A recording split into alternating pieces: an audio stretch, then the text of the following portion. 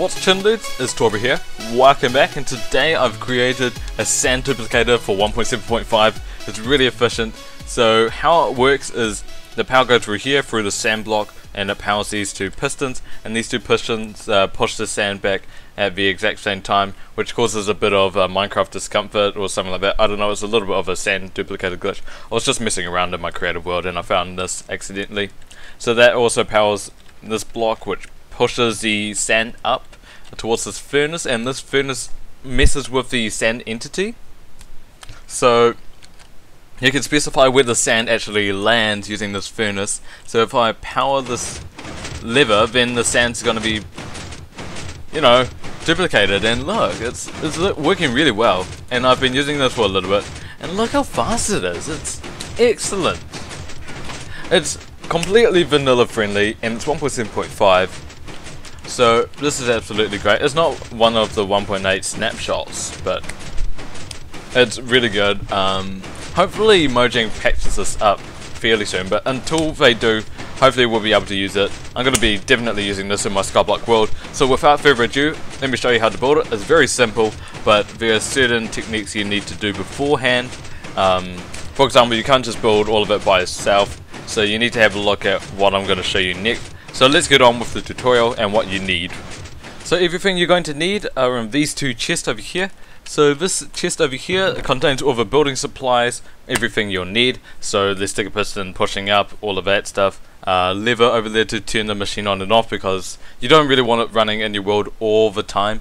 Um, and then all of that stuff like so and then over here in this chest this is what you need for the hopper system and then over here this is what you need for the furnace. So you indicate where the sand actually duplicates. So without further ado let's get building and I'll show you how to build this. So what you're going to want to do is first you want to place a sticky piston facing upwards like so with a glass and sand block on top. You want to build two blocks like so facing away from each other and then a sticky piston facing in like that and then a sticky piston facing in like that. Over here you want to place two blocks like so with a repeater and a lever switched on like so. And then over here you want to place five blocks like so in a happy face with three redstone dust. And then if we do it like that it should just do something like that and it shouldn't quite work yet. So what we want to do is we want to place four blocks like so leading down towards the sticky piston and then place three redstone dust like so, well we need to replace that sand block like that and it's going to create a clock but it's not going to duplicate any sand here and that's because we need to specify which direction we want to face it in. So without further ado, let's move on to stage 2. Alright, for stage 2 what you want to do is you want to place your furnace you want to face it this way. The face facing this way. If you face it this way, then the sand's just going to fall on that redstone dust, and this isn't going to quite work properly. Over here in this furnace, you want to place a gold golden apple, which is 8 golden blocks of course, and the cooked salmon on the bottom. So golden apple on top, like that. And this is going to edit the data value of the falling sand entity, which allows it to duplicate. It's a, it's a, it's a glitch. So over here you want to place a chest like that, with a hopper facing into it with a carpet on top.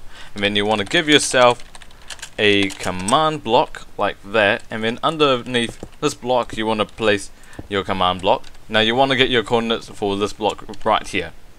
So what is it? Negative 301 58 and negative 48 now you want to transfer these coordinates over here to this command block. And you want to place it in like so.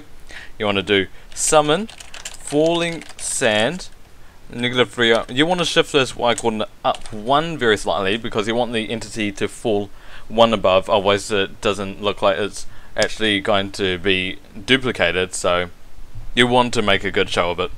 And then you want to do time colon 1 and then curly bracket.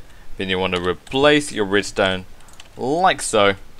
And then you flick the switch and look, it's been duplicated. Very vanilla, fr vanilla free, and I hope you guys enjoy this simple tutorial. Hope you guys build it in your worlds. I'm definitely going to build it in my skyblock. Got all I need to do is summon that command block. I've got everything else. Um, but that's going to be it for the end of this episode, dude. So cheers for watching. Um, let me know whether you enjoyed this tutorial or not. Why did I call it an episode? But Um, next tutorial I'm going to show you how to duplicate diamond blocks for 1.7.4 um, and if you enjoyed leave it a like. Um, and as always cheers for watching dudes. See you next time. Take it easy. Have a good day. And have a good April Fool's dudes. See you next time